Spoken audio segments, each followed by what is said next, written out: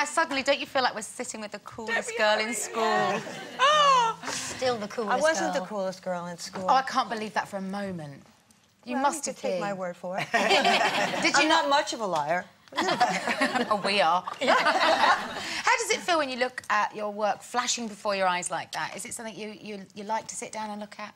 I, I, I don't normally sit down and look at myself, but um, sometimes I, I think it's, oh, that, gee, that's okay. And oh, oh, that's something, oh, sh- how did I do that? Oh, what possessed me? yeah, I suppose we all do that. But uh, as Yeah. well as, as people loving the old stuff, you, you guys, uh, as a band, as, collect, as a collective, have never stopped making new music. And there's a new album out now, uh, which is called Panic the Girls? Panic of Girls. Panic of Girls. Mm. What does that mean? Well, we uh, just wanted a line that rhymed in a song called The End, the End, or The End of the World. And um, it uh, sort of worked. It, you know, it's a complicated lyric. It was a storyline about uh, sort of, you know, psychotic person and, you know, in the streets yelling about the end of the world. And um, so it seemed right at the time, but now we're stuck with it. a lot of things like that in life, aren't there? yeah. Is it, this, is it is the album, the new album, the sound that we're familiar with, the Blondie sound, or is it a, it's it's the kind of music we'll be we, we're used to hearing from you guys? Or- I think so because you know uh, we're sort of who we are. You know, Chris has a sound, style of playing. Clem has a, a style of playing, and you, of course, you know, you recognize the voice. Yeah. So there are those elements, but I think also we've, you know, tried to bring it into today's world, and um, so it's a good combination. I Well, let's have a little listen. This is the debut um, single. It's out now. It's called Mother.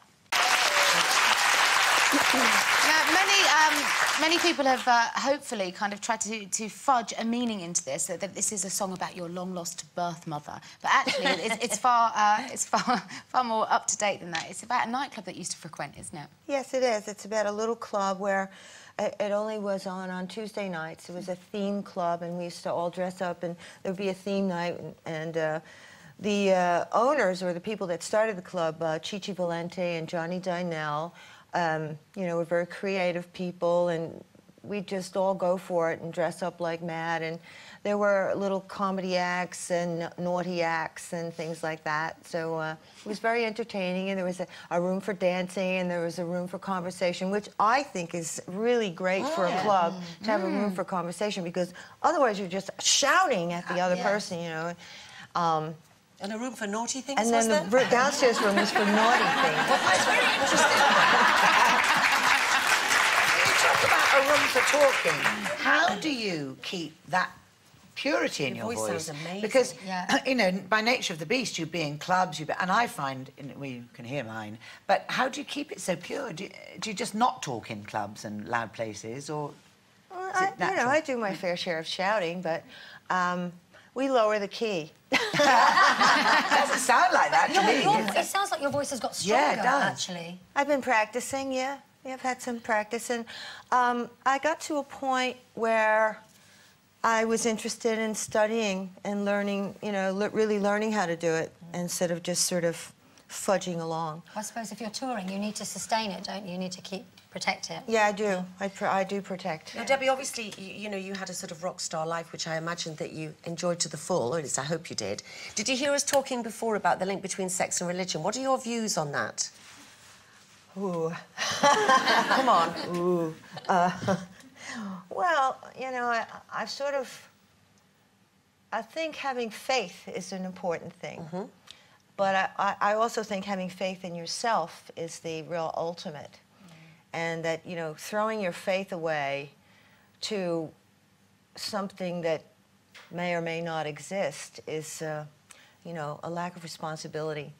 And so I think that, you know, when, once you really take responsibility for your life and, you know, who you are, that's, uh, you know, the ultimate, really the best thing.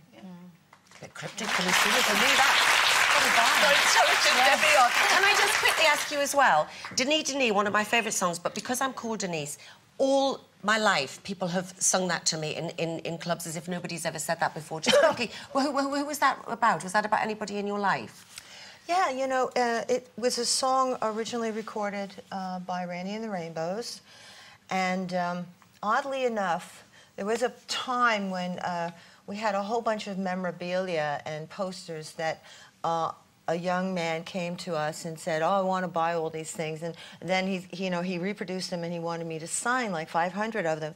It turned out that his wife was. Uh, one of the Ref- Lefraks, and Denise was Denise Lefrak. So, it, you know, it's, it's what's just a small then? little world. There yeah, you there was a Deb. real, You make her dare. real Denise, yeah. Well, the new album is out now. It's uh, available in a special uh, collector's edition, which is distributed not uh, through the usual methods, is it? People can find it where?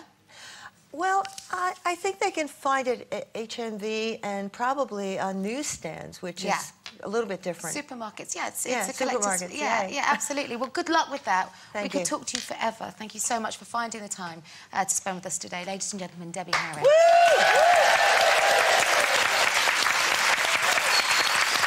Uh, stay tuned, much more to come, including a catch-up with Corrie killer John Stape. We'll see you in three.